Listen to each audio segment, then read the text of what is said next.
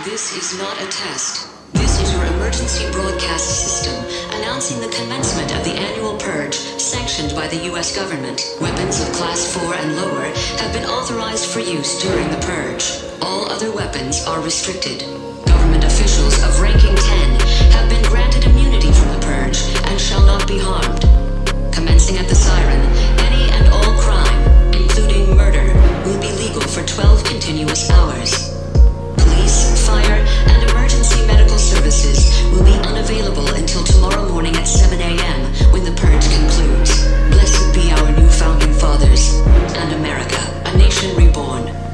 be with you